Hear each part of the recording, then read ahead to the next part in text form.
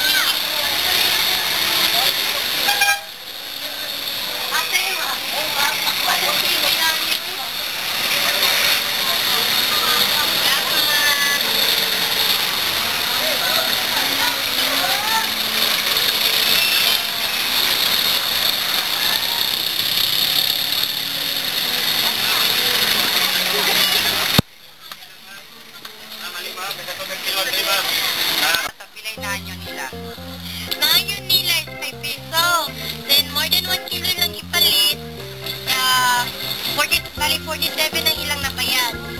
Ay, ang yan ang balik nila. Ah, 5 peso lang yung nahangin sa kwan, sa 1 kilo. Ah, ang kato sa pobre, Sa pobre is 30 ang kilo, na yung 3 food iyang napalit. Ah, 20, ah, 3 food, 22 ang iyang napayad. Dayon, ang yun na lang yung is doon, bali 20 na lang siya. Ah. tumastakog na niyo ang dato.